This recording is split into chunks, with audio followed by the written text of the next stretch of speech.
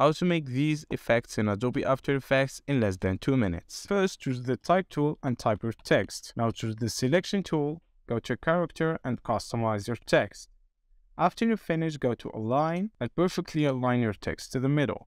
Choose your text, Hit S to show scale property and scale it down. Now hit Y to choose the pan behind tool and double click it to make the anchor point perfectly at the middle of the text. Now go to align and perfectly align it to the middle. Now drag any stroke brush overlay you can find on internet and drag it to your timeline. Choose the selection tool and perfectly align it to the text, just like this. Now choose your text layer and hit toggle switches and modes till you see this track matte. From now on choose alpha matte then the name of the layer. And here's the animation.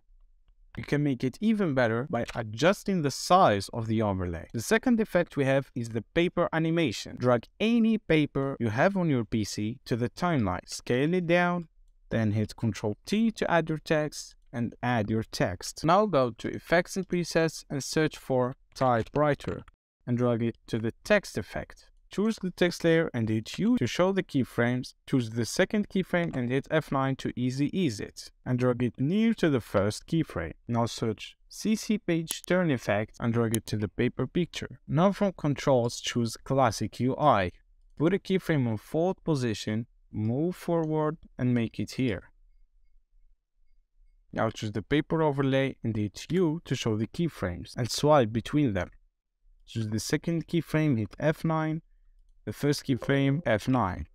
And here is the animation. Now we can put our text between the keyframes, so we have this animation.